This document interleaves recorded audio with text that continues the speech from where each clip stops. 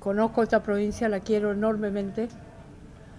A los 19 años fui maestra en la zona del Dorado, en el kilómetro 28, Picada Suiza. Entonces la escuelita era nacional número 262. Y yo vine con mi, con mi ilusión de, enseñar y, mi, deseo de ser útil en el país profundo. Y lo primero que me enseñó esta provincia, el pueblo de esta provincia, es que en realidad yo vine a aprender. No vine a enseñar, vine a aprender, a mirar el país desde este lugar, desde ese lugar. Eso cambió mi vida y cambió mi canción. Hasta el día de hoy aparece, como bien decía compañera, en mi música y en mis letras la experiencia humana extraordinaria que viví en aquellos años en esta querida provincia. Después de mucho tiempo de haber estado ahí, volví a mi, a mi provincia natal, pero después volví a vivir en Misiones, en el año 78, año asiago, ya, en plena dictadura, eh, eh, en, la ciudad de Posadas. Eh, o sea que tengo recuerdos muy hermosos, muy fuertes, muy intensos de esta provincia. Y creo que esta es una fecha, bien dijo la compañera, que nos tiene a todos a flor de piel en este momento crítico, no solo de la Argentina, sino de América Latina y del mundo.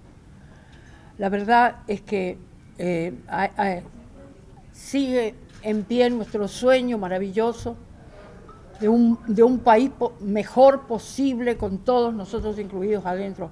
No solo por la lucha que no ha, no ha terminado, sino en memoria de los 30.000 desaparecidos que tiene nuestro país, justamente que dieron su vida, que justamente dieron su vida por ese sueño. Pudimos construir en un momento políticas de, inclusión que fueron maravillosas y que acompañó el crecimiento y el desarrollo de nuestro pueblo. Hoy estamos pasando un momento tremendamente difícil para nuestro país, eh, para nuestro pueblo fundamentalmente, y, con, políticas que verdaderamente excluyen y le hacen tanto daño a la mayoría de la población. No están pensadas esas políticas para las mayorías. Así que este 24 de marzo va a ser un 24 de marzo con mucha carga emocional, pero histórica, con memoria. Para mí es un honor que me hayan invitado a los organismos de esta provincia, de derechos humanos de esta provincia, a estar, a conmemorar esta fecha, a sostener la memoria y a seguir reclamando por la justicia social en esta provincia tan querida. Creo que no es casual, creo que no podía ser de otra manera.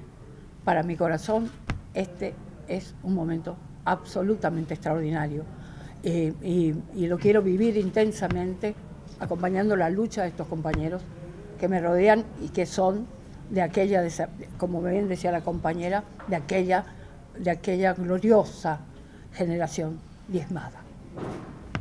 Eh, Teresa, ¿cómo, ¿cómo, ves a los jóvenes sobre todo esto? Estás hablando de seguir las banderas, pero los jóvenes llevan la bandera que tenían.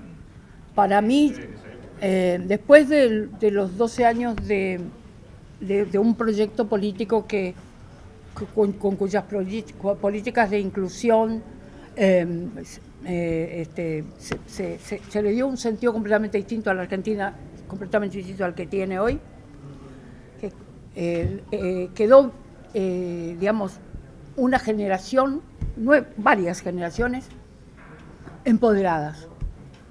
Son dueños también de este sueño que hemos traído hasta aquí. Eh, el mismo sueño al que no renunció Néstor Kirchner aquella vez en, la puerta de la Casa de Gobierno. Eh, las generaciones, eh, muchas generaciones, no solamente las que empezaron a pensar en política en aquellos 12 años, sino las que siguieron, están tomando, tomando las banderas. Porque lo que yo creo que hay una frase que muchas veces se dijo y que yo, a la que yo adhiero. Cuando Néstor Kirchner cerró los ojos, abrió los ojos de muchísimos, y entre ellos fundamentalmente de los jóvenes. Creo que un país que no tenga jóvenes comprometidos con la esperanza de, un mundo mejor posible es un país que ha perdido su destino, no tiene futuro. Así que eh, yo estoy orgullosa de las generaciones que están defendiendo los derechos de las mayorías y sus propios derechos en todos los espacios. Y hay muchísimos jóvenes eh, eh, comprometidos, cuerpo y alma, tal vez, bueno, sueño que así sea, como fuimos nosotros en aquellos años en que abrazamos esta ilusión de crear este país mejor para todos. ¿Y cómo se logra eso? ¿Cómo se logra? ¿Cómo se logra justamente que la gente, jóvenes se comprometen? Yo siento que la, la, gente joven ya está comprometida, no es que nosotros lo tenemos que lograr, ya está comprometida. Eh, aprendieron a mirar el mundo desde otro, desde, otro lugar y aprendieron a, cuando, abrazan un pensamiento político, protagonizan eso comprendieron que son los protagonistas del futuro. ningún país puede tener futuro si no tiene a todas sus generaciones comprometidas. Yo eh, eh, camino este país, no ahora, añades hace que lo camino, y puedo contarte en todos los lugares de Argentina de jóvenes trabajando por ese mundo mejor posible desde distintos lugares, con un compromiso por lo social, por la inclusión extraordinario. A mí eso me mantiene absolutamente invicta la esperanza. ¿Qué que son todas las causas de corrupción que, que la tienen a la expresidenta envuelta? Bueno, eso lo está dirigiendo la justicia. A mí me parece que eh, lo importante es ver cómo sigue eso y, y, confiar en la justicia. La preocupación que tenemos todos es que la justicia haga lo que tiene que hacer. Yo creo en Cristina Fernández de Kirchner. Yo creo en Cristina Fernández de Kirchner y en su manera de pensar la Argentina y la Argentina insertada en el mundo. Confío en, las políticas que ella llevó adelante, creo en ella. Lo que, lo que, lo que se lo, lo, que a lo que usted se refiere, que a los hechos de corrupción, seguramente los tiene que dirimir la justicia. Hasta ahora, este, lo que hay es, son, son verdaderamente Em, supuestas pruebas, porque la verdad es que hasta ahora no han podido mostrar nada. No, no hace mucho, ayer, este, eh, declararon la falta de mérito de aquella famosa causa, la, la, ruta del dinero acá, ¿no? Así que bueno, cuando si me demuestran lo contrario, lo aceptaré. Mientras tanto, confío en ella, creo en ella, profundamente. Teresa, con respecto al tema de la parte artística o a tus pares, Gracias. lo ves en este momento? Eh, a mis pares musicales. Tus pares musicales, los artistas. En general encuentro en, en, la mayoría de los artistas, primero una gran preocupación por el destino de la cultura en nuestro país.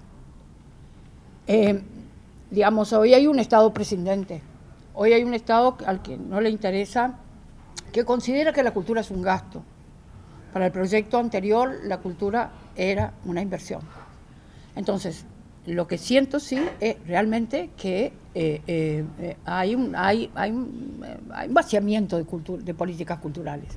Y siento que el, amplio sector que pertenece a la cultura, los protagonistas, los hacedores de la cultura de la Argentina, eh, están en, la misma sintonía que, la, que la que tengo yo y, estamos reclamando este, que vuelvan esos, esos derechos que, y, esos, esos, digamos, esos espacios que, el Estado ayudaba a sostener para equilibrarse, para, o por lo menos tratar de equilibrarse con el mercado. ¿no? O si no, el mercado termina imponiendo todo. Y siento que mis colegas, eh, los de mi generación y de las nuevas generaciones, sienten las mismas cosas que sentimos nosotros, porque hay un, vaciamiento en las políticas culturales y eso repercute directamente en el trabajo de todos nosotros. ¿Cómo se logra nuevamente que la juventud se empodere con la democracia y con la justicia, siendo que se han perdido cuatro generaciones, tanto por la dictadura, guerra, guerra de Malvinas y todo lo que ha venido, que después? Pero bueno, usted me acaba de preguntar, me volvió a preguntar lo mismo. Yo lo que le digo es que creo que está ya involucrada la juventud y creo que, ah, están haciendo su militancia en distintos lugares, en dos sectores donde trabajan y donde, donde tienen que llevan adelante su, su, vida. Eh, yo le conté a usted que yo conozco este país profundamente y que permanentemente estoy siendo convocada por jóvenes que están trabajando al lado del pueblo comprometido con el pueblo, que en este momento está atravesando situaciones tremendamente adversas económicas, eh, conteniendo y tratando también de, ser, sentir que puede ser útil este, en todo el país. Yo creo que eh, eso ya está en marcha. Yo, y esa es mi mayor esperanza. No sé si... estamos hablando de la parte militancia, estamos hablando de la juventud en general. Ah, bueno, la penetración... La ah, ah, bueno, ah, bueno, la penetración cultural ha sido muy demoledora, pero no es de, de, de poca data es de larga data la penetración cultural y un día cuando uno no, sabe cómo, de golpe, este, ya estamos instalados en ese mundo en donde pareciera que, no tenemos memoria, no tenemos historia, no tenemos legado, no tenemos ningún... Bueno, pero creo que eso, las situaciones críticas como las que están viviendo en nuestro país y el mundo, creo que termina este, eh, abriendo los ojos de muchos que por por, bueno, a raíz de esa penetración cultural, estaban como, ajenos e indiferentes y aceptando como que el mundo ya era así, no había cómo cambiarlo. Yo, yo viví, mire amigo, bueno, tengo 71 años, soy del, soy del año 47, ah, o sea que este año, a fin de año, cumplo 72, y viví etapas tremendas de, justamente de, esa penetración cultural a lo largo y a lo ancho. Recuerdo en, los años antes de, la última gran debacle argentina, que fue el, final del gobierno de De la Rúa, recuerdo que yo iba a cantar a muchos lugares este, que me llevaban distintos organizadores y que en, encuentros con jóvenes y que los jóvenes de golpe me encontraban a mí apasionada tratando de, decir desde mi canción y desde mi pensamiento, de mis palabras, que, eh, que teníamos que modificar el mundo para que estemos incluidos todos y todas. Este, y ellos un día, una vez un joven me dijo en, una, en uno de esos encuentros, usted parece la joven y nosotros los viejos, porque yo no creo en la política, porque la política, y me empezó a explicar todo lo que había hecho la política en los últimos años en nuestro país. Sin embargo, ese, proceso, ese, horror pudo revertirse, esa pena grande de que la juventud piense que los jóvenes éramos nosotros, que éramos los que ya habíamos sorteado muchísimos momentos críticos en la Argentina. Eso superamos.